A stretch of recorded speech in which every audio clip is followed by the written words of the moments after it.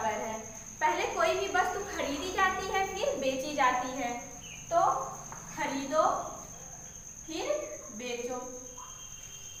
खरीदो, फिर बेचो।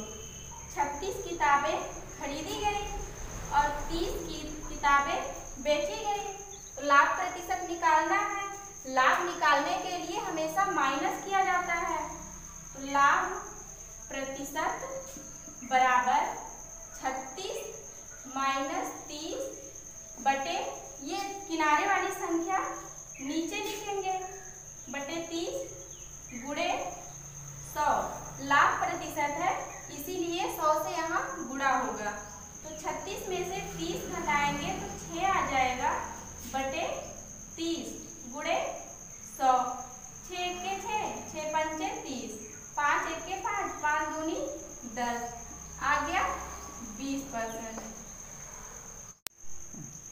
पंद्रह वस्तुओं का लागत मूल्य दस वस्तुओं के विक्रय मूल्य के बराबर है तो लाभ प्रतिशत बताइए चलिए इसको दूसरे मेथड से देखते हैं पंद्रह वस्तुओं का लागत मूल्य लागत मूल्य हमेशा क्रय मूल्य होता है तो क्रय मूल्य बराबर दस वस्तुओं के विक्रय मूल्य के बराबर।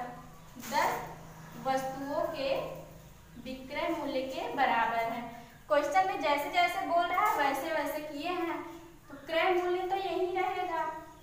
क्रय मूल्य बटे विक्रय मूल्य नीचे आएगा। विक्रय मूल्य इक्वल टू दस। ये क्रय मूल्य के पास पंद्रह है तो पंद्रह दस के नीचे आ जाएगी संख्या। पाँच दूनी दस पांत्याई पंद्रह, दो बटे तीन। तो क्रय मूल्य दो आ गया, विक्रय मूल्य तीन। तो खरीदे थे दो रुपए का, बेच दिए तीन रुपए में। कितने रुपए का लाभ हुआ? एक रुपए का लाभ हुआ। तो लाभ प्रतिशत बराबर लाभ बटे क्रय मूल्य गुणे सौ लाभ प्रतिशत या हानि प्रतिशत हमेशा क्रय मूल्य पर ही निकालते हैं। और यहाँ पे प्रतिशत है, इसलिए सौ से गुणा करा दिए। कितने का लाभ हुआ? दो रुपए का खरीदे थे, तीन रुपए का बेच दिए, एक रुपए का लाभ हुआ, एक बटे क्रय मूल्य। क्रय मूल्य कितना है? दो है, बटे दो गुणे सौ। दो एक दो दो पंचे दस, आ गया पचास परसेंट क्वेश्चन पाँच वस्तुओं का विक्रय मूल्य तीन वस्तुओं के क्रय मूल्य के बराबर है तो लाभ हानि प्रतिशत बताइए। पहले क्या होता था? खरीदो, फिर बेचो। खरीदो, फिर बेचो। पाँच वस्तुओं का विक्रय मूल्य। जहाँ पे विक्रय मूल्य होगा, बेचो में हम पाँच लिखेंगे, फिर तीन वस्तुओं का क्रय मूल्य बोल रहा है। तीन हम यहाँ लिखेंगे।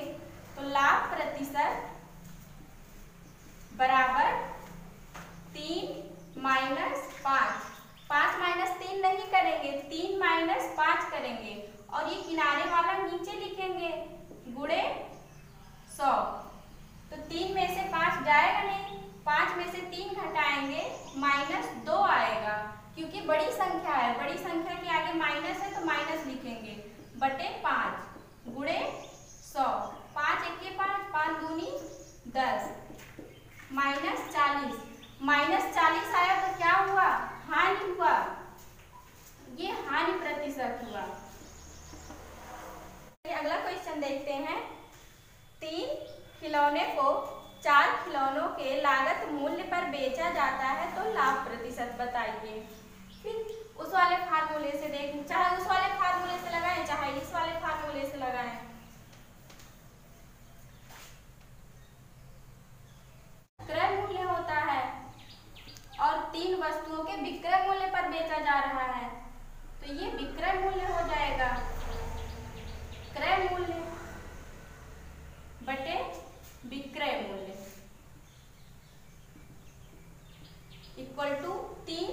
और ये क्रय मूल्य के पास चार है, नीचे आएगा चार।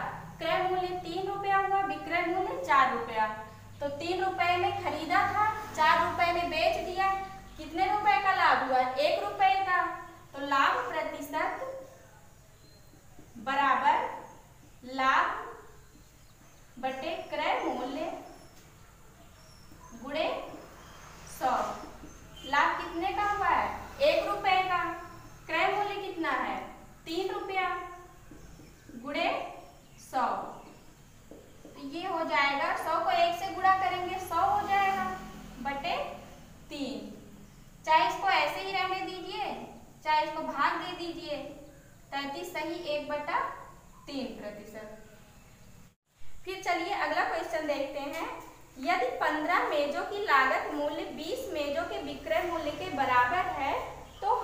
प्रतिशत बताइए।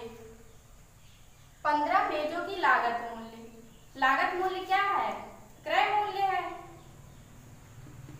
और 20 मेजों के विक्रय मूल्य के बराबर है। तो क्रय मूल्य बटे विक्रय मूल्य बराबर 20 और ये इसके नीचे आएगा। पाँच चौबीस पाँच पाँच पंद्रह। चार बटे तीन। क्रय मूल्य चार आ गया, विक्रय मूल्य तीन आ गया। तो इसमें पूछ रहा हानि प्रतिशत। हानि प्रतिशत। खरीदा था चार रुपए का, बेचा तीन रुपए का। कितने रुपए की हानि हुई? एक रुपए की। तो हानि प्रतिशत बराबर हानि बटे क्रय मूल्य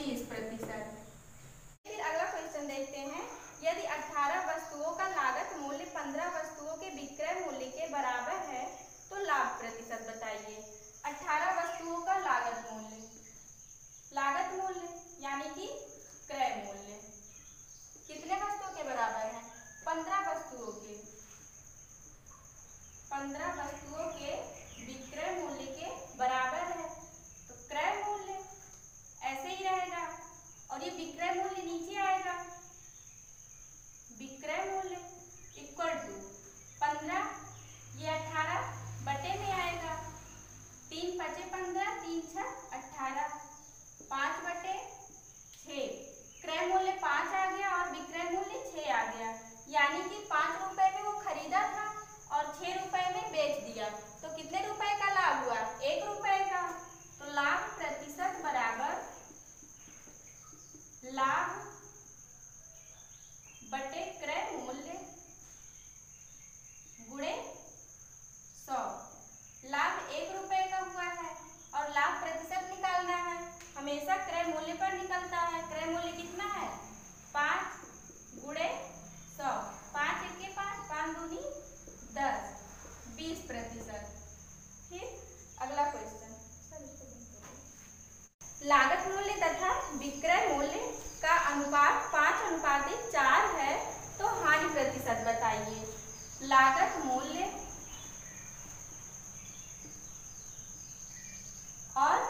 विक्रय मूल्य अनुपात है पाँच अनुपात है चार।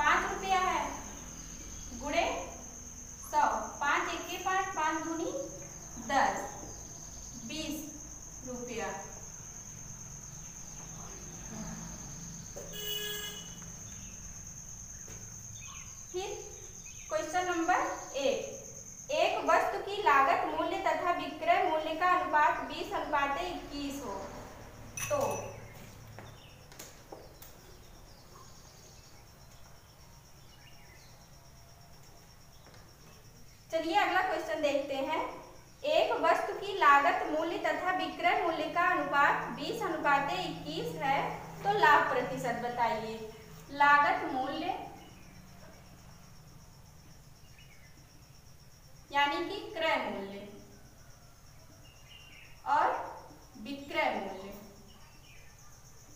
लागत मूल्य और विक्रय मूल्य का अनुपात दिया है 20 अनुपात